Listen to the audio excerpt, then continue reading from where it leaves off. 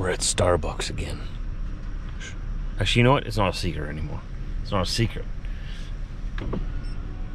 I'm letting the world know. I go to Starbucks. See, that wasn't so hard to say. I go to Starbucks. Cheers to a whole new world. Timmy's, your lineups are too long. I'm sorry. Uh, and it's, it's very difficult to get to Timmy's now as well. I think I explained this in other days. Uh, the Timmy's in town is uh, it's got road construction all around it, and it's not their fault. It's not their fault at all. But I go through the drive-through here at Starbucks, and they they answer like, "Hey, how was your day? Oh yeah, what you up to today?" They like start a conversation. It's like they want to be your friend. And maybe it's like that in other places too, at other places, but here in Steinbach, they just seem really, really friendly. Like like I've said in past videos. So, you know, that goes a long way to gaining my business. I'm not a morning person by any means. Until I get my coffee, uh, I'm, I'd rather not be around. I'd rather be sleeping still. But, you know, I get my coffee, and if you make it a positive experience, getting my coffee, man, that makes my day go by so much better. Know, starts it off on a good note. It's going to be a good day regardless, but now it's going to be a great day. Well, we just got here, and uh, I went to grab the mail this morning just because we've been forgetting the last couple of days. So I went and grabbed it, and well, well, looky here, looky here. It's time for Trucker Josh to go in for his driver fitness physical exam. We have to do this every five years, I believe. I got to complete a physical exam to make sure I'm still healthy enough to drive a semi truck. I'm not too worried about that. I'm just I hate I hate being told I got to go see the doctor. so what they do is they check my cardio health, uh, metabolic, uh, check for metabolic disease, uh, musculoskeletal disease, nervous system disease, psychiatric disease, renal disease, respiratory disease, uh, diseases of the senses, and any other conditions. Uh, check your cardiac system, check for diabetes, uh, anything, anything that could possibly, uh,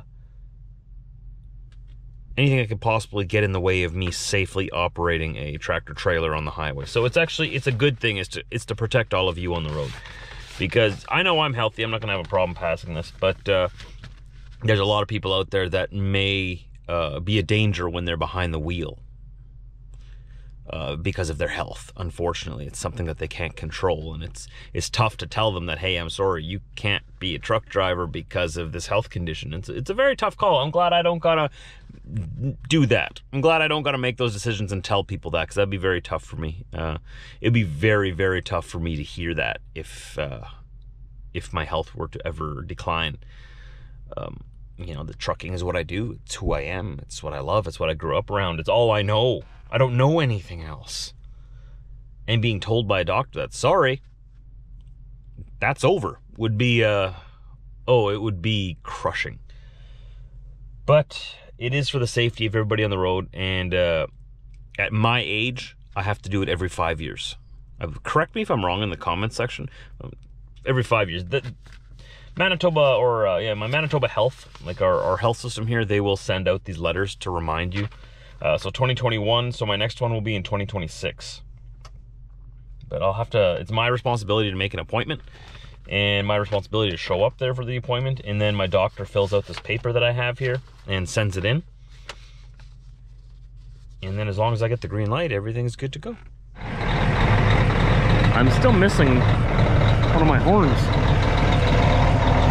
I don't know if I'm gonna get that back. These trucks back in the day used to have four horns up there. One of our city trucks still has all nice, has it all set up all nice with the four horns. But uh, I only got one because the other one fell off last week and it hasn't been put back on yet. We'll see if they put it back on or not.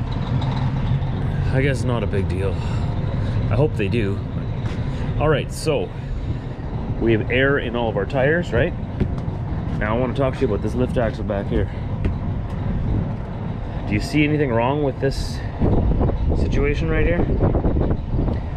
When you have your axle lifted off the ground like this, sometimes it still touches and uh, there's no brakes on it, right? It still turns.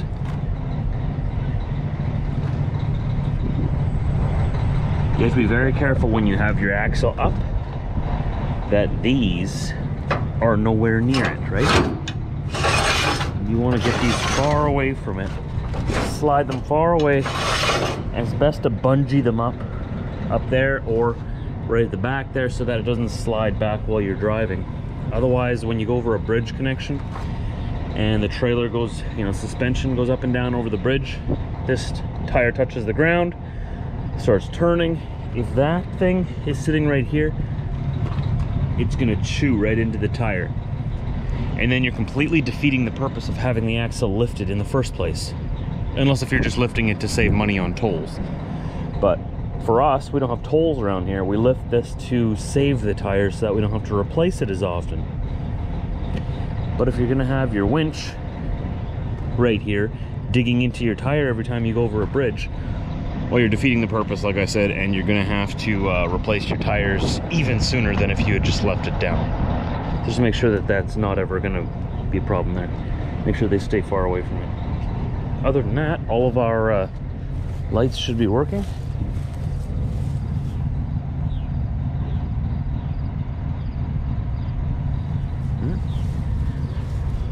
Everything's looking good.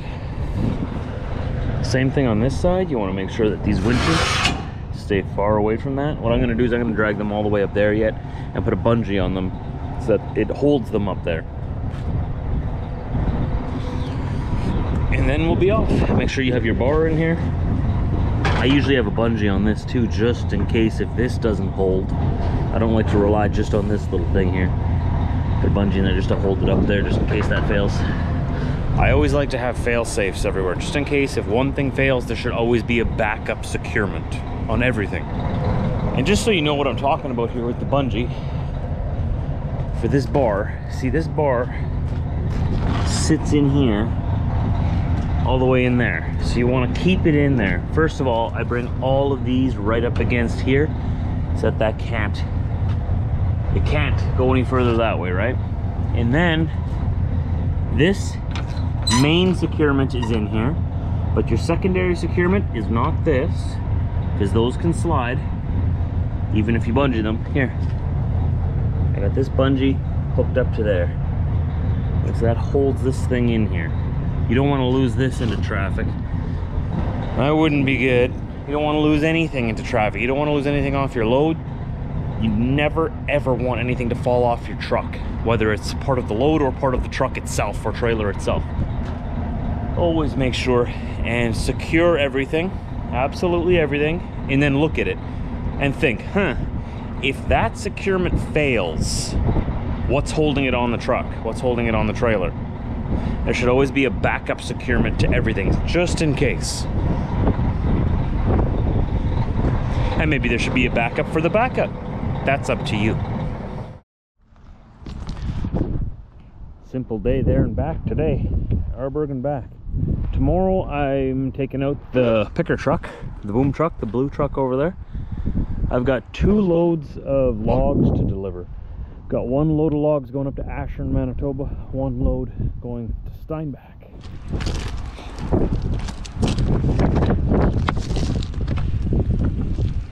I'm gonna have to start a little uh, earlier than usual tomorrow. So that means I'm going home, having supper, getting ready for bed. Try to get to sleep earlier today. Oops, oops. There we go. I gotta get here early enough tomorrow. I've got to move a few things over from 3006 to 3106 just like my hard hat uh, you know my my chargers and stuff just so i'm ready for the day and uh, we'll see i got it whoa whoa whoa easy easy easy. Oh, it's making so much noise. Let's get this window cleared first. There we go. See? I'm hoping they're gonna put that horn back on the top of my truck yet. Guess it's not that big a deal though. But I have mentioned it twice today in the vlog though. I haven't mentioned it to them. I, I did when we first, uh, or when I first brought the truck in, they just had to cut the airline on it just because it was like hanging off and I didn't want it flying out into traffic. And I was I was hope, hoping we can put it back on there eventually, but they probably have to order in specific mounts for it for the top of the truck, I'm, I'm guessing. It's not like we'd have a bunch of those lying around. And how often do the horns fall off? Have I ever shown you guys yet, or have I shown you the finished deck?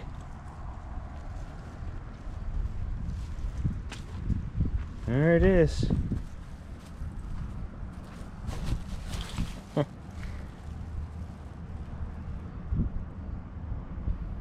I don't show the front of the house that much, so I guess I forgot to show you guys the finished work. I'm not quite finished yet.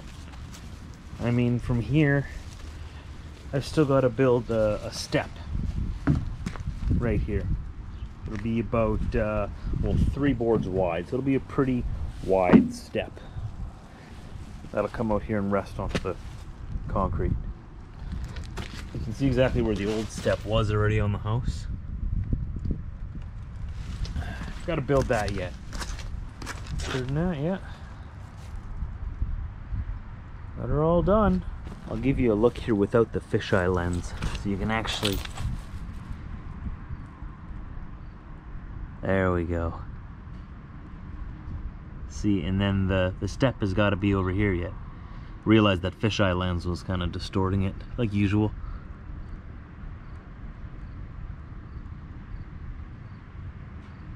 First deck I've ever built by myself. Hey boys.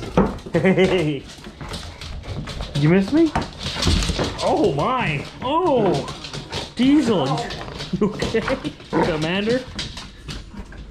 Commander didn't miss me. He just wants to go out. Wiener? Wiener, where'd you go? There he is. Yeah. Diesel's quickly grabbing some water. Hey, buddy. Hey, guys. Come on, let's go outside. Come on. Don't step on the wiener. Don't step on the wiener. Come on.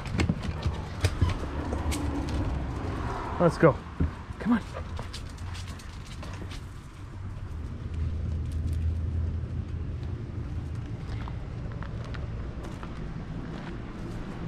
Oh, and look at all these apples on the ground again. So many. This is just from today. Oh, we're gonna have to start harvesting these. Yikes. I don't know what Britt wants to do with them. I don't know, do we eat them? Can we just eat them? Right off the tree? I've never had an apple tree before, I don't know. Wow, they're huge. Yikes. Everywhere. All over here. Yes, I'm gonna Google it. You can laugh at me if you want. Can I eat apples off my tree? Can you forage for and use wild apples? Have you ever? The short answer is yes, they should be safe to eat. They should be. You eat apples straight from the tree? The apples growing on your tree should be safe to eat, but throw away any fruit laying on the ground. It won't hurt your tree, but the salts will leave burn marks in your lawn. What lawn? Although you your tree won't absorb any toxin from them, your dog's feces are more serious. Yeah, I get it. The dogs might have uh, peed on the ones on the ground. This one I grabbed off the branch.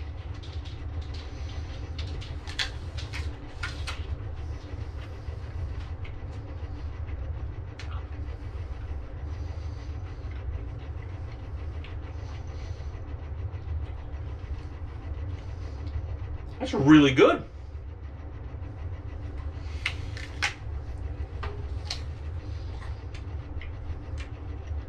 Those are really good.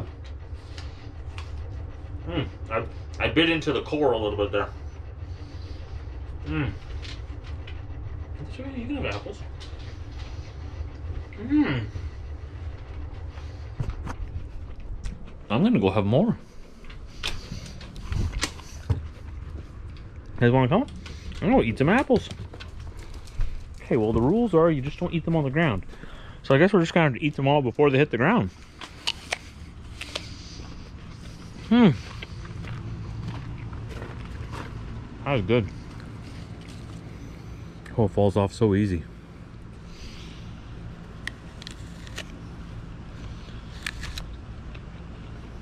Mmm.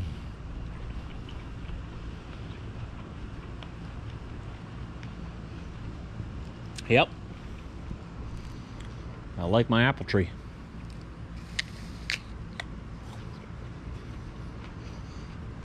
And to think all the ones laying on the ground right now are wasted.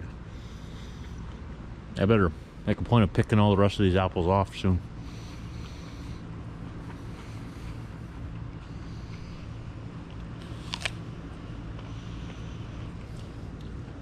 You like apples too, don't you?